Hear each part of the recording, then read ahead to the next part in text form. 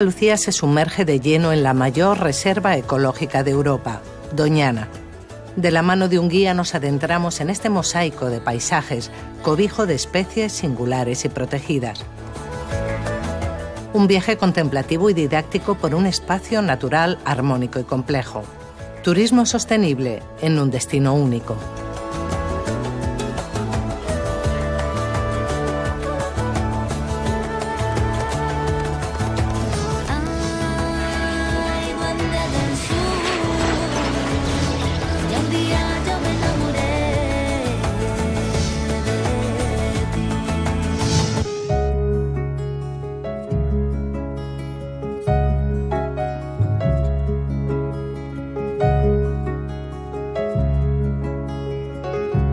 Frente al Océano Atlántico se extiende un paraíso.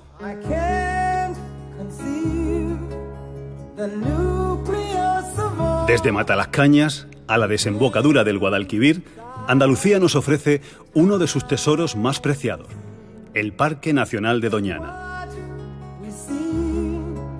Su inmensa diversidad se reparte en tres provincias, Huelva, Cádiz y Sevilla.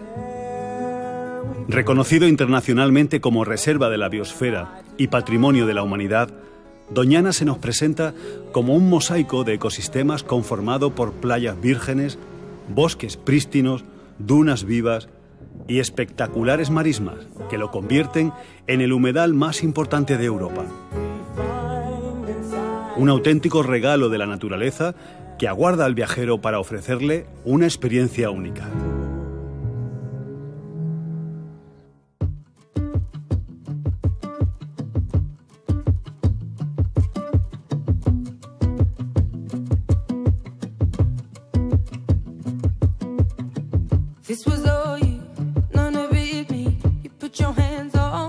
Viajamos al corazón de Doñana Sur.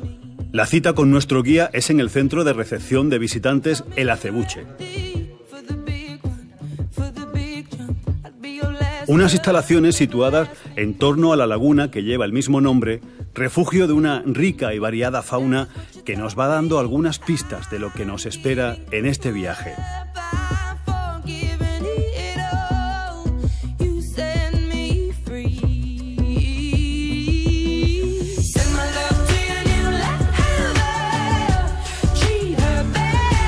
A bordo de estos vehículos especiales llegaremos a los enclaves más recónditos del parque. Buenos días, mi nombre es Abel, voy a ser vuestro conductor guía durante esta visita. La visita va a durar aproximadamente 3 horas y media, 4 menos cuarto, dependiendo de las mareas, ¿vale? Vamos a hacer primeramente unos 30 kilómetros por la orilla de la playa, continuaremos hacia adelante viendo los cuatro ecosistemas que tiene el Parque Nacional, La Vera, los cotos, la marisma y por último veremos dunas móviles y corrales.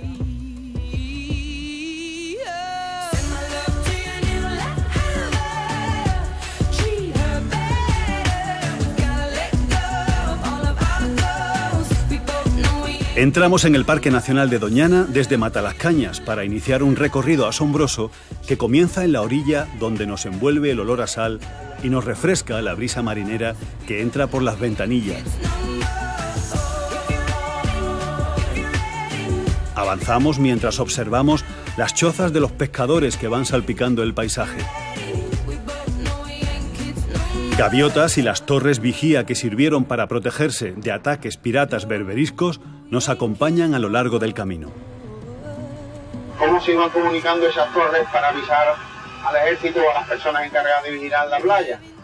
Pues esas torres, como estaban repartidas a lo largo de toda la costa, pues van encendiendo unas grandes candelas arriba, unas grandes hogueras, y así para avisar a las personas encargadas de vigilar la playa.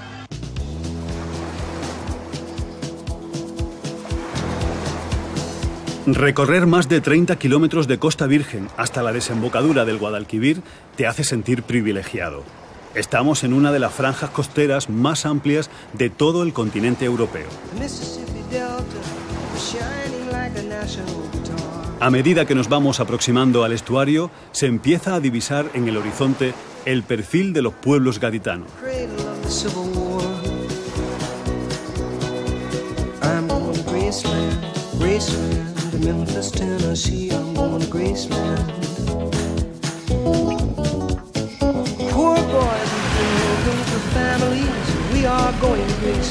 En el camino es frecuente cruzarse con ciervos y gamos que en ocasiones se aproximan sin temor hasta los viajeros.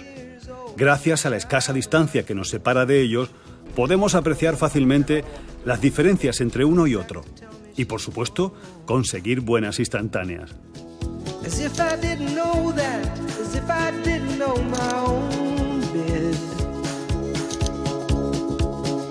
El itinerario bordea el río, deja atrás el delta y se dirige hacia la punta de Malandar.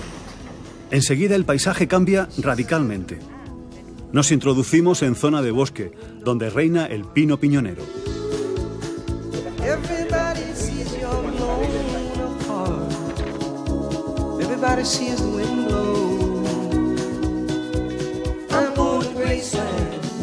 Continuamos hasta los llanos de Velázquez para contemplar jabalíes y caballos marismeños, una raza autóctona de Doñana en peligro de extinción.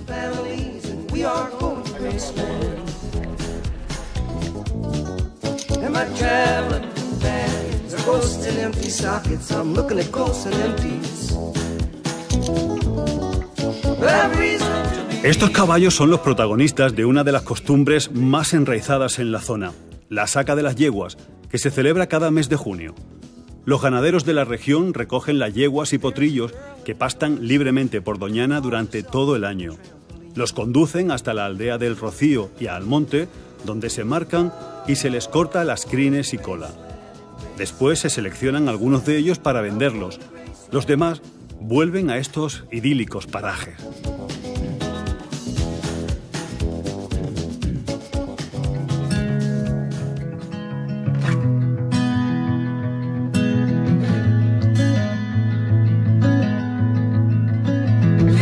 De camino al poblado de la plancha comprobamos que hay otra forma de adentrarse en Doñana, a bordo de un barco que parte desde Sanlúcar de Barrameda, desde el otro lado del río. El buque Real Fernando, que toma su nombre del primer barco de vapor construido en España, sale debajo de guía y navega 13 kilómetros por el Guadalquivir, ofreciendo al viajero otra bella perspectiva del parque. Los lugares inspiradores se suceden y es inevitable querer inmortalizarlos. El reto de captar la luz y el color, las sensaciones que se perciben, la libertad que se respira.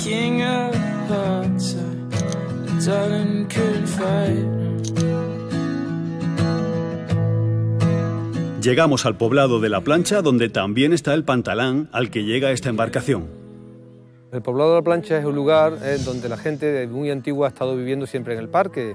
Es la finalización de la vía pecuaria que unía el monte con Sanlúcar de Barrameda, la vía pecuaria que unía Huelva con Cádiz. Está compuesto por un grupo de chozas eh, que se llaman ranchos, ranchos familiares, donde suele haber tres, cuatro chozas en cada rancho, que es la cocina, sala de estar, dormitorio, cuadra.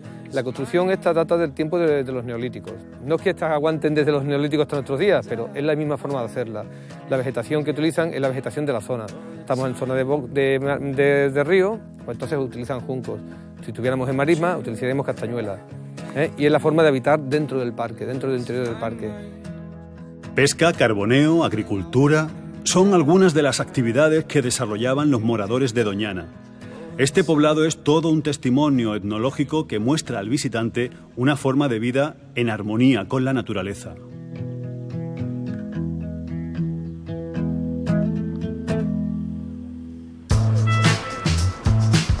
Continuamos el itinerario hasta el Palacio de las Marispillas.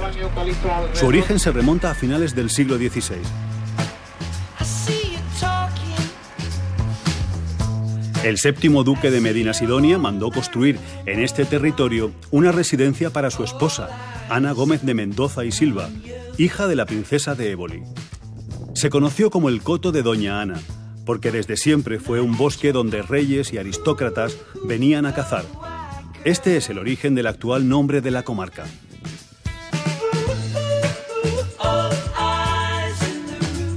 Tras seis siglos de posesión ducal, en 1900 pasó a manos del conde de Garbey.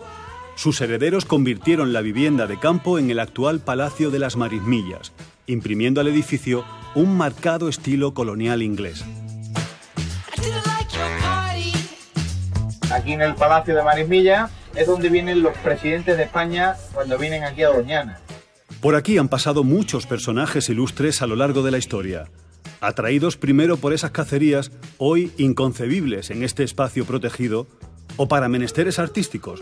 Se cree que fue aquí donde Goya pintó a sus dos majas, cuando visitó el coto acompañando a la duquesa de Alba. En los últimos años, presidentes de distintos países del mundo han visitado este palacio, acrecentando su fama internacional.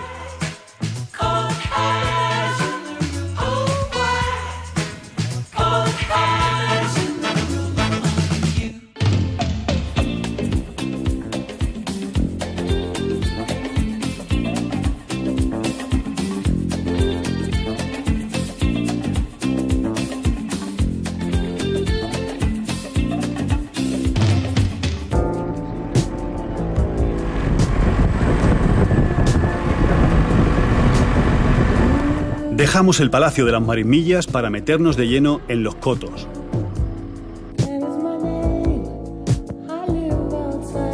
Suaves ondulaciones de arenas amarradas por la vegetación. El hábitat preferido de algunas especies en peligro de extinción, como el lince y el águila imperial. Nos acompañan en este trayecto las vistas al monte y sus fragancias.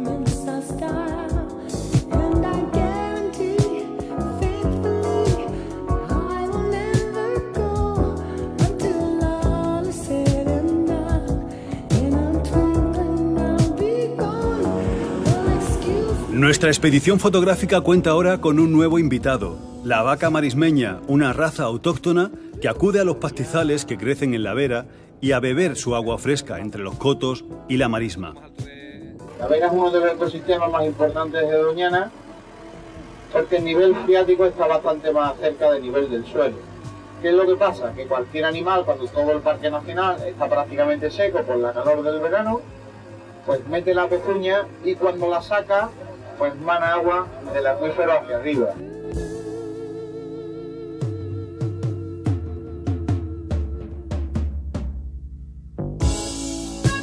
Nos encontramos en la marisma, el mayor ecosistema del parque, que le otorga más personalidad.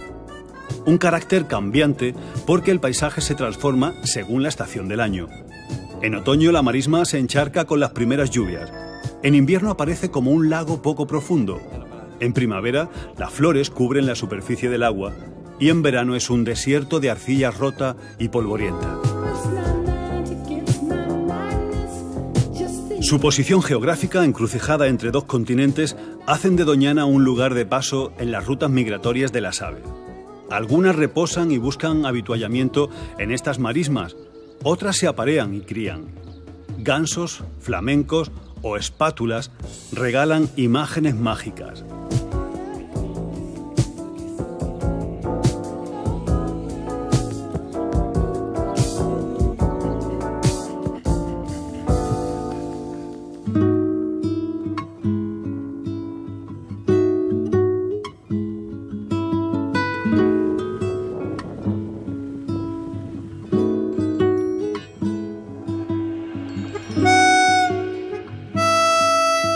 Atravesamos ahora uno de los paisajes más impresionantes del parque, las dunas móviles. Las arenas del mar, transportadas por el viento del suroeste, alimentan y renuevan estas montañas de arena que se deslizan lentamente hacia la marisma, concretamente unos dos metros al año.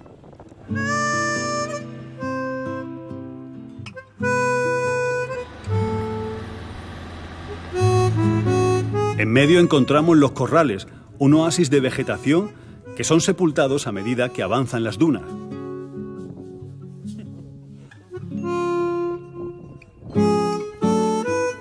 La particularidad, por ejemplo, del sistema dunar tiene, tiene muchísimas cosas interesantes y particulares. Entre ellas, por ejemplo, si te subes lo alto de la duna, ¿eh? en pleno verano, prácticamente, pues escarbas un poco y sacas lo alto de la duna, no abajo, sino lo alto, sacas arena mojada. ¿Arena mojada por qué? Eh, pues porque esa arena eh, tenemos una gran bolsa de agua en, el parque, una gran masa de agua, uno de los acuíferos más grandes y más importantes del territorio español, eh, que por capilaridad va subiendo el agua por encima de la duna. Y hace que, en las dunas haya vida, haya una vida increíble, de, tal forma que puedes encontrarte ranas, sapos, en, la misma duna, en lo alto de la duna. Tocar la arena, andar sobre ella, seguir las huellas, crear otras nuevas, tratar de distinguir hasta dónde alcanzan. Un espacio fascinante con el que completamos el collage de imágenes y sensaciones que nos regalan los distintos ecosistemas del Parque Nacional de Doñana.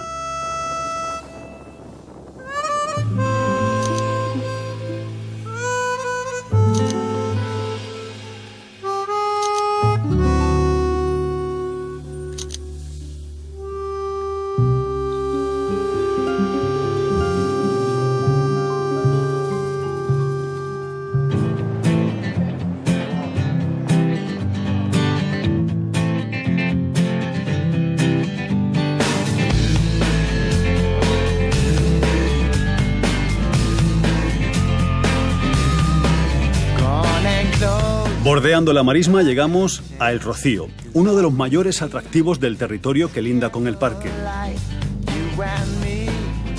La aldea nos ofrece una de las estampas más típicas de la comarca. Esta aldea ganadera se identifica con su multitudinaria romería reconocida mundialmente. El resto del año es un sitio tranquilo, perfecto para conocer y degustar la gastronomía típica de Doñana. Lo hacemos en un lugar cuyo diseño recrea las antiguas chozas donde vivían los guardas del parque.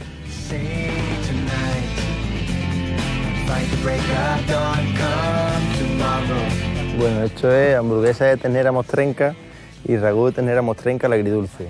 La ternera mostrenca es la ternera autóctona de aquí de Doñana, que es 100% ecológica, solo comen los pastos de Doñana.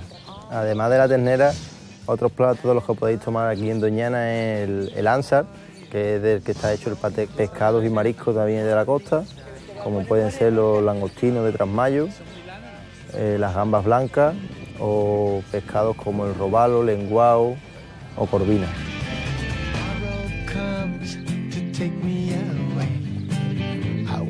Al tenerse que adaptar a un terreno inundado y estar en movimiento, la carne de esta vaca es muy peculiar, tiene poca grasa y un sabor intenso.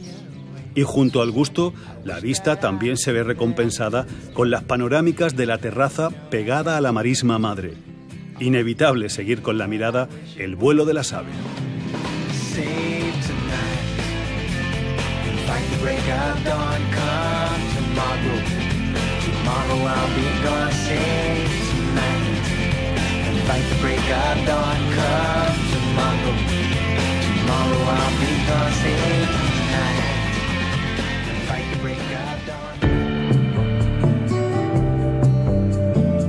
Por las calles de arena llegamos a la Plaza de la Cebuchal, en el casco histórico, catalogada como monumento natural. Sus árboles son centenarios. El más longevo tiene más de 600 años. Lo llaman el abuelo y está considerado el ser vivo más viejo de Doñana.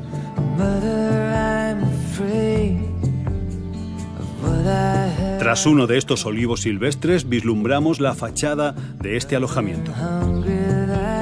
Bueno, pues el objetivo que eh, se ha querido tener siempre es conservar el estilo rústico tradicional de aquí de la zona del Rocío y bueno, pues para ello se ha intentado siempre el, utilizar materiales artesanos, todos hechos a mano, como las vigas, como la, solería, el alicatado del cuarto, de los cuartos de baño. El huésped pues, puede interactuar totalmente con lo que es el entorno, con lo que es la naturaleza eh, hay muchos ornitólogos que frecuentan la, vivienda porque bueno, pues desde el salón principal pueden incluso eh, tomando un café tranquilamente sacar unas fotografías estupendas a, mucha variedad de, aves y bueno pues la fauna es eh, desde la vivienda se puede presenciar perfectamente.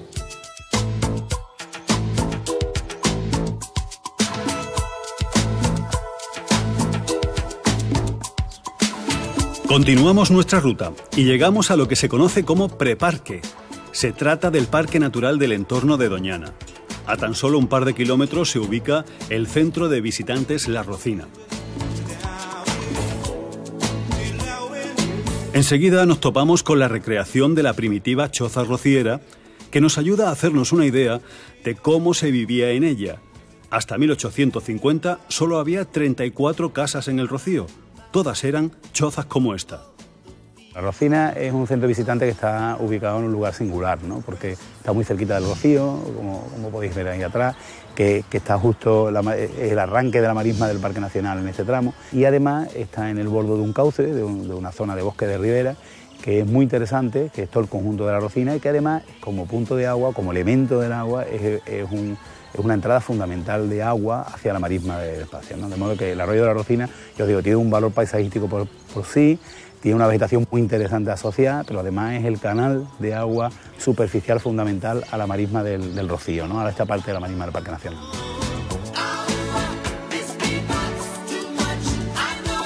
El sendero del Charco de la Boca, que transcurre por la orilla del arroyo, tiene varios observatorios como este, donde con prismáticos en mano pueden diferenciarse, entre otras especies, cigüeñas y espátulas, descansando en sus aguas.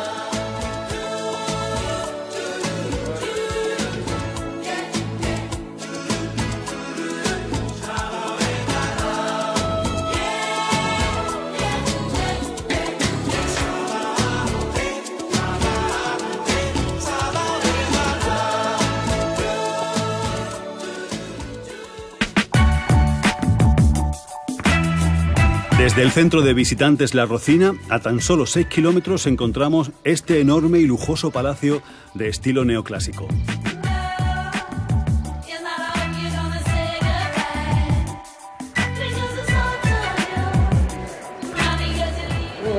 Hola, ¿qué tal? Muy buenas. Buenas. Queríamos saber qué podemos ver por aquí. Pues nada, os encontráis en el Palacio del Acebrón. Tenéis dos opciones, visitar el edificio, tiene una planta superior con exposición y mirador, y luego el sendero que os recomiendo que hagáis. El sendero tiene un kilómetro y medio aproximadamente y ahí podéis encontrar un bosque de ribera bastante interesante. Hay aves, muchas aves, también a veces se puede ver la nutria y por la mañana temprano algún ciervo y algún jabalí. Y en el edificio este, pues deciros eso, que es un edificio de 1961, que lo construyó un señor que se llamaba Luis Espinosa Fondevila y que desde el año 81 se dedica como el primer museo que tuvo Doñana.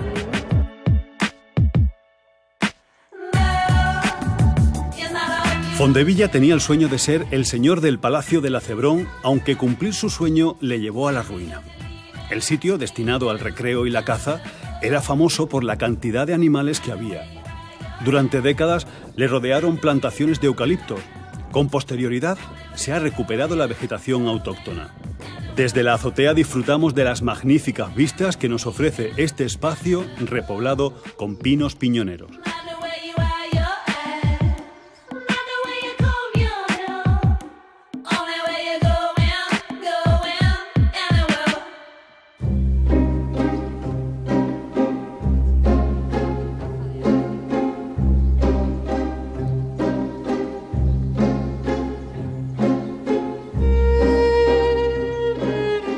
Al palacio, una pasarela de madera nos conduce por un bosque de ribera, entre gruesos y rugosos troncos de fresno y el sonido de los pájaros.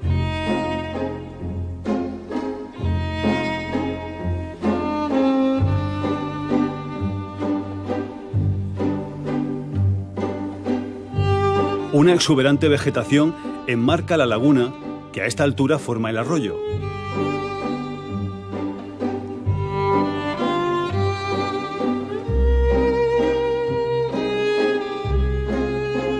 Y más adelante, los alcornocales dan frondosidad a este refugio fresco y sosegado en el que ponemos fin a nuestra ruta por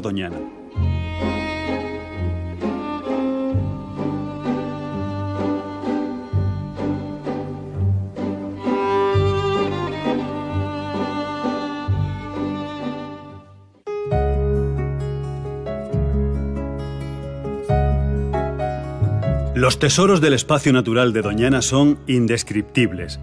Su extenso marco geográfico, donde acaba la tierra y empieza el mar. Su espectacular variedad y autenticidad de ecosistemas que acogen la mayor biodiversidad de Europa, sus tradiciones y su rica historia, hacen de este lugar un destino imprescindible para el viajero.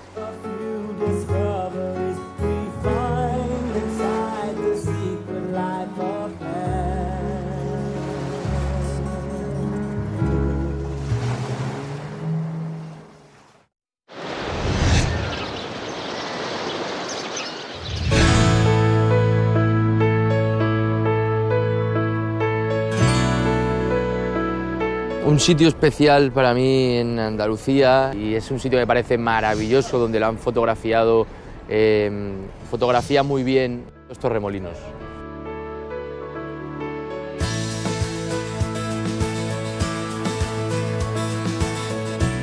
Es decir, quiero volver a Torremolinos para pasar yo unos días de relax, eh, no trabajando y disfrutar de bueno, ese sitio que me parece tan peculiar, tan especial y digno, digno de estar ahí, digno de, de ver y disfrutar.